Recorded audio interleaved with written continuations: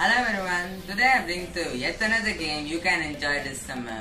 The AI Guess the Color game. In this game, the AI will choose its favorite color and you will be given two attempts to guess it. If you guess the color right, you will win the game. But if you lose in both the attempts, the AI will tell you its favorite color. Now let's play the game and have fun. So here are the four options from which you need to guess the AI's favorite color.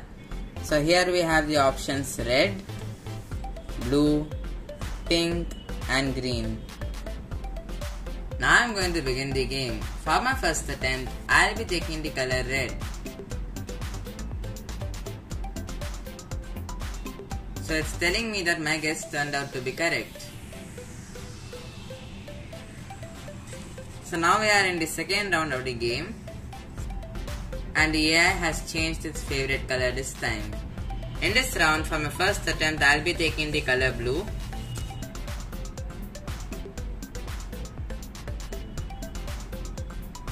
It's telling that my guess has turned out to be correct once again.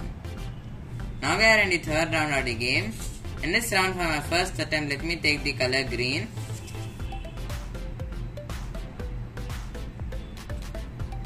So it's asking me to try once again, which means that my first guess turned out to be incorrect. For the second attempt, let me take the color pink.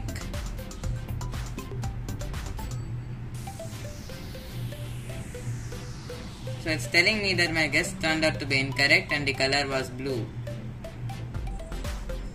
So first I have trained my AI vision blocks for the four different colors. So each port of my AI blocks is defined for one specific color and I've also programmed my Arduino in such a way that after every two attempts it changes its favorite color. So according to the inputs it receives from the AI blocks, it automatically shows the result in the LCD.